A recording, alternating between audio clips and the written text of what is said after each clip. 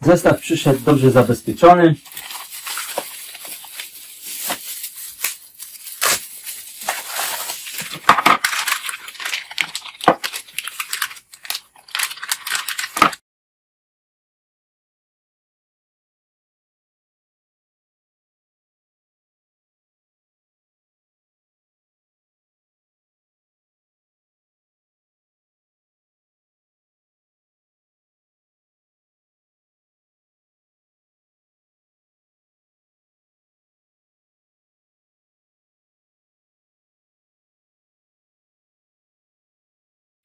Wymontowane.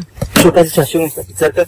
Ciężko to było nagrać, więc nie nagrywałem, bo nie było miejsca na kamerę. I tutaj trzeba wpiąć te pomiędzy takie plastiki.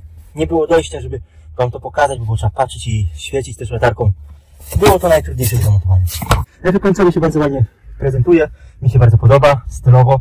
Tak jak ja lubię chromy czarne i srebrne. Było ciężko ten nagrać kamerą, było trzeba się wyginać, żeby zobaczyć te otwory i to, więc niestety mało się nagrało, ale jak się komuś to podoba, to warto sobie zamontować.